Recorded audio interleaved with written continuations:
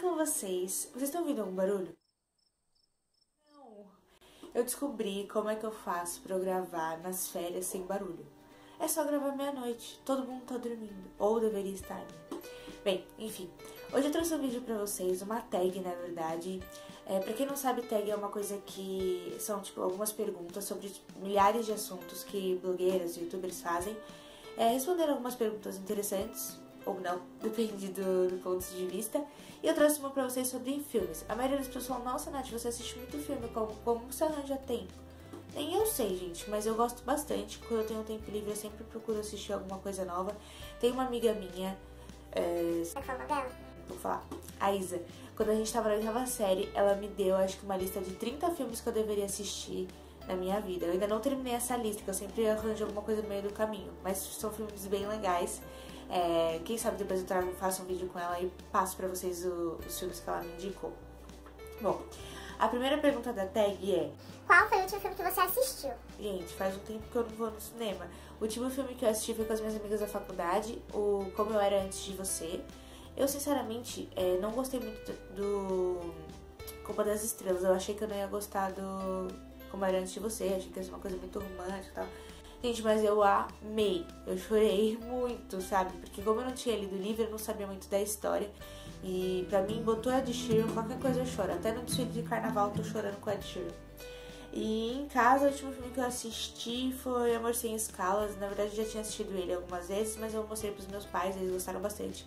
Que é aquele que é com George Clooney e ele demite as pessoas. Ele é contratado para demitir as pessoas. Enfim, sem spoiler, é muito legal. É um filme que você quer muito ver. Por incrível que pareça, é, eu ainda não assisti essa série de filmes, eu queria muito assistir, eu sempre acabo postergando, que é o Aqueles Convergentes, Divergentes, etc. Eu queria muito assistir.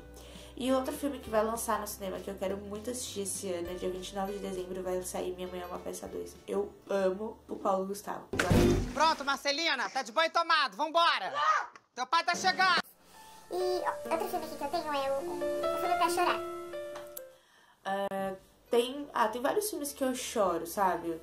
Mas eu acho que um filme assim que eu acho que você tipo, chora mesmo, além do Como é Antes de Você, é O Amor pra Recordar. E também um filme que eu não chorei o filme inteiro.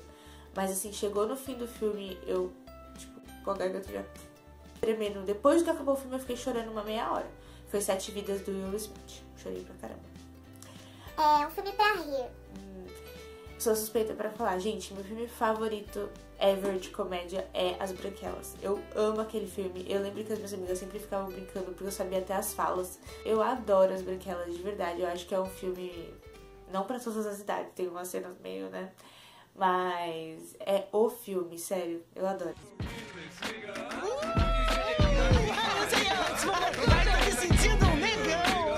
Espera aí! Eu não acredito que disseram isso. E o filme brasileiro que eu gosto bastante, assim, que eu dou muita risada é Meu Passado Me Condena, porque eu sou apaixonada pelo Fábio Porchat, gente, de verdade, pra mim ele é... O que eu gosto nele, também no Paulo Gustavo, acho que são características, né, parecidas, é que eles falam muito rápido, e aí a, tipo, a piada... Você tem que ser rápido pra pegar e dar risada naquele momento, sabe? E ele já muda pra outra, não dá muito tempo, então eu gosto bastante. É um suspense. Eu gosto muito de Chamada de Emergência com a Halle Berry. É um filme sobre um sequestro e tudo mais. Nossa, aquele filme, a primeira vez que eu assisti, eu sentei na cama e fiquei tipo, meu Deus, ela tem que ser salvada, pelo amor de Deus. Enfim, vou mais dar spoiler, quase falei, né? É um filme pra ver com a família. Um filme que eu gosto muito, que eu acho que merece ser visto com a família, é Se Eu Fosse Você. Tanto um quanto dois, eu prefiro um mas eu acho muito legal, a, imagina, o Tony Ramos e a Glória Pires são ótimos atores, então certeza que vocês vão gostar também se você ainda não tiver assistido. Um filme lindo. É A Procura da Felicidade. Eu acho que tem uma mensagem bem forte, assim, sempre quando eu assisto me inspira a batalhar pelos sonhos e atrás de tudo que eu quero. Um romance. Eu acho que um romance épico, assim, atemporal, é como se fosse a primeira vez, do Adam Sandler com a Jill Barrymore. Eles são incríveis, super fofos e, tipo, sempre que passa na sessão da tarde, tô lá assistindo e achando super bem. Eu nunca morrer de medo. Dificilmente eu morro de medo com sessões tipo de sangue, sabe? Eu não curto muito. Pra mim, eu não tenho medo disso, tenho mais é nojo. Mas um filme que eu assisti recentemente, eu assisti, assisti, ah, assisti recentemente, eu senti muito medo foi Invocação do Mal, assim, dentro da sala. Eu vou pra casa depois acabou, não tenho nada na minha mente, mas no cinema eu fiquei meio assustada, assim. Eu levo muito susto, muito fácil também. Um filme de ação. Internacional, é, Jogos Vorazes, adoro. Vocês podem ser bem considerados como ação e tal, mas eu gosto muito. E eu gosto muito, gente, acho que vocês não iam imaginar isso de mim o filme de. Eu vi no, naquele site Adoro Cinema, né? Se ele era caracterizado, caracterizado como um filme de ação, ele é. Eu gosto muito do filme Tropa de Elite, né? Começar, eu gosto do Wagner Moura e tal, mas eu gosto muito do filme. Tanto é que uma vez numa entrevista de emprego, eles pediram pra eu colocar qual o filme que eu gostava. É, qual filme me, me caracterizava. Eu queria colocar um, Titanic. Mas não rolou. As Branquelas, ia ficar muito, né? Não, não deu certo. E aí eu coloquei Tropa de Elite, não sei onde eu tava com a cabeça. E aí na hora da entrevista o cara falou assim pra mim, é, você. Se você pudesse ser um personagem do filme, qual você seria? Não me diga que você seria o Capitão Nascimento. Gente, eu fiquei uh, congelada. Eu, meu Deus, nunca me perguntaram isso antes. Aí eu falei, ah, se eu pudesse ser um, uma pessoa do filme, eu seria o Matias. Porque é diferente do Neto, se vocês assistiram o filme, né?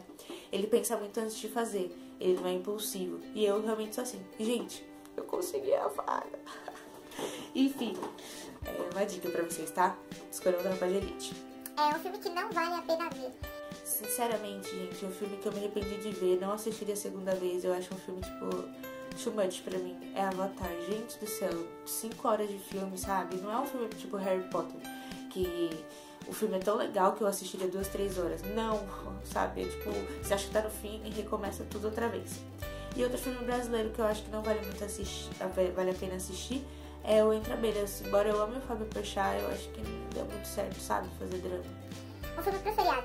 Eu assistiria Malévola. Gente, eu adoro Malévola, sinceramente. Foi até. Eu gosto desse, desse outro lado da história, sabe? Um desenho animado? Sem dúvida nenhuma seria Divertidamente.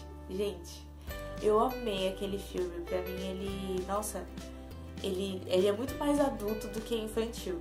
Mas eu gostei muito. Um filme pra, que todo mundo tem que ver. Gente, Harry Potter, né? Quem nunca assistiu Harry Potter, pelo amor. É um filme que você assistiu três vezes ou mais, adivinha? Gente, Titanic. Acho que eu já assisti no mínimo na minha vida umas 15 vezes. A minha prima tinha as fitas cassetes. A minha prima Dalila tinha as fitas cassetes. Um beijo pra você, Dali. E eu lembro que ela colocava a primeira fita, acabava, colocava a segunda fita. Gente, eu assisti muitas vezes. Eu assisti no cinema quando, em 2012, acho que lançou no cinema. Eu fui assistir em 3D, não tinha nada 3D, só a poeirinha do mar, da água lá.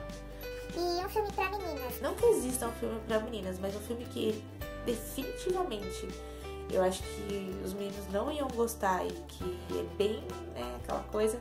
É Patricinha de Beverly Hills. Gente, eu, eu gostava desse filme quando eu era criança, assim, sempre passava na sessão da tarde. Enfim, é isso, gente. Eu espero que vocês tenham gostado de verdade. Um beijo e até a próxima.